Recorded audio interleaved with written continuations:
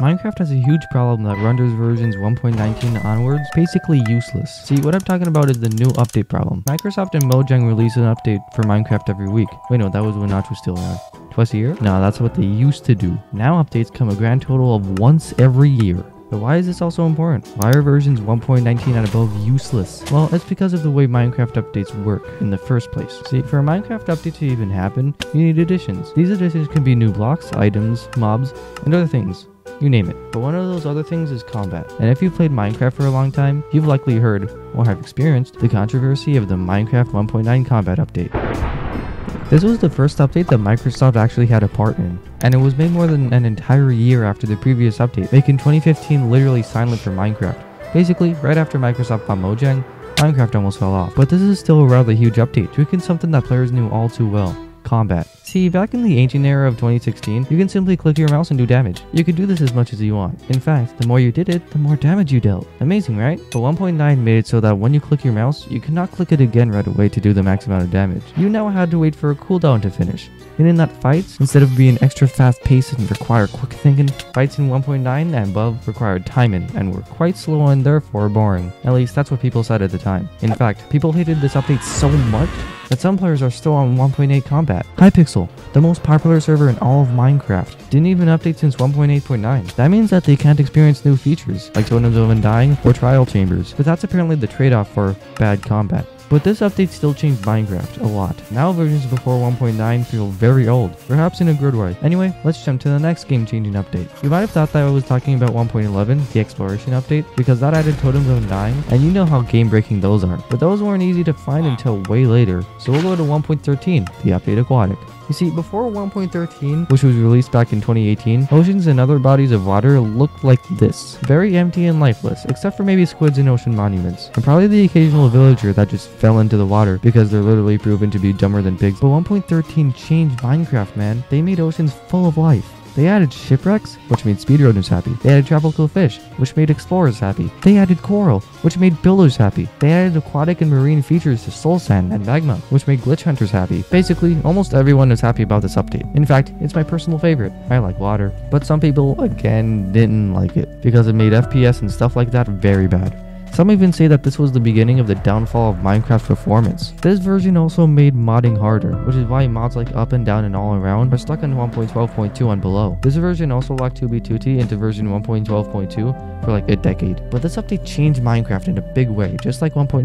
Now that 1.13 exists, if you go back to 1.12, the oceans seem lifeless and extremely boring. This brings me to the next update, 1.14, Village and Pillage. This was actually a 2-in-1 special, with the texture update also being added, which you won't believe this, but it tweaked most textures in Minecraft. If you're wondering what textures weren't changed, they were the grass textures and this other random texture that they forgot to update because 99.9% of players didn't even notice, including apparently all of the developers. Anyway, this made it so that three things were now outdated textures, villages, and pillages. You see, now villages had lots of different jobs and customizable areas and work blocks for villagers to work on, and more. It was also the first time Element Animation made a trailer for Minecraft, which is officially supported by Mojang which is nice. So now that all those were updated, if you went to a village in versions like 1.13 and below, you would find them, again, extremely boring and way less functional. This update also made Totems of Undying insanely easy to farm, so there's also that. And if you even played before 1.13 or below, unless you were using a resource pack, you would see the default textures and go, darn, those are old.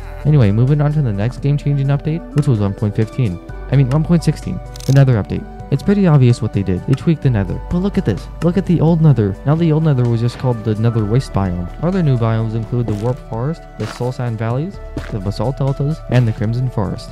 And again, before this, half of these biomes were just focused on the nether waste biomes. This update also added netherite, bastions, piglins, tradable gold, new wood types, respawn anchors, target blocks for redstone, and lastly but certainly not least, Pigstep.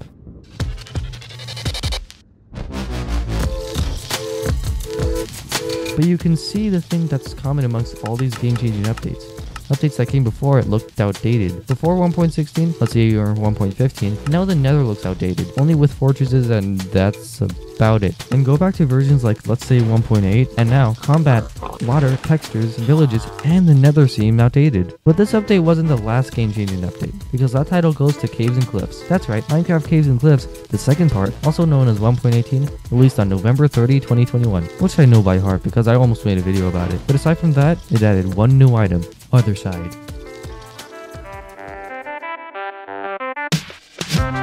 But other than that, it tweaked cave and cliff generation entirely. See where they got the name from?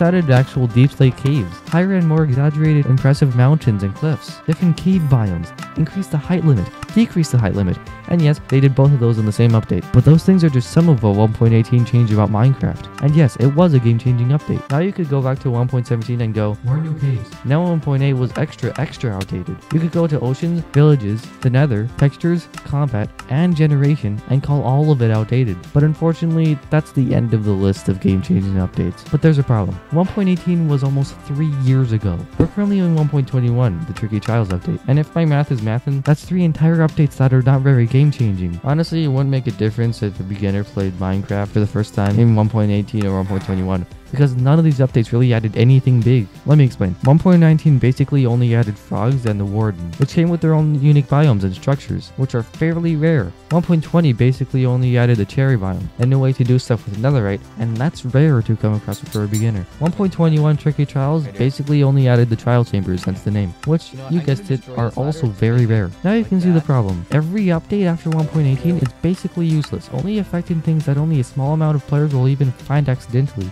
So in conclusion, Minecraft updates have been getting more and more overwhelming with each one that passes. And if my dreams come true with 1.22 being the end update for Minecraft, then we'll finally see other game changing opportunities for the community to experience, enjoy, and play on. Oh yeah, also I've been hearing rumors about a secret Herobrine wearing a business suit somewhere in this video. So if you want, you can rewatch the video to see if you found him.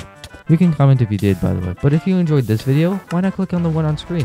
YouTube personally picked out this video to be one of the best possible for you to watch so why not watch it? Anyway, you just watched a UYT Minecraft video. Hope you enjoyed and learned something from it. Thanks to this person in the credits for paying less than a dollar per month for awesome perks, and until next time, Minecrafters.